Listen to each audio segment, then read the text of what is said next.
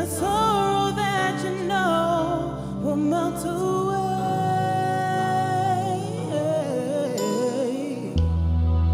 And when a hero comes along with the strength to carry on, and you cast your fears aside, and you know you can survive. So when you feel